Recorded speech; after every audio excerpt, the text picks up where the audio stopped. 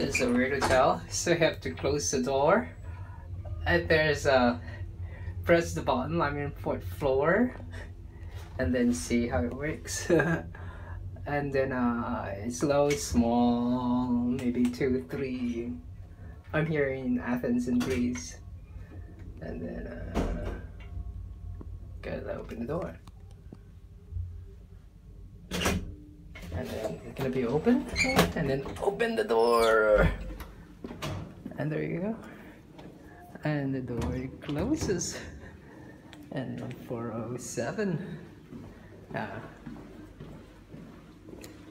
There you go. It's weird, huh? I know.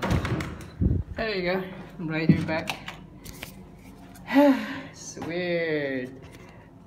Uh, it's a weird uh, elevator.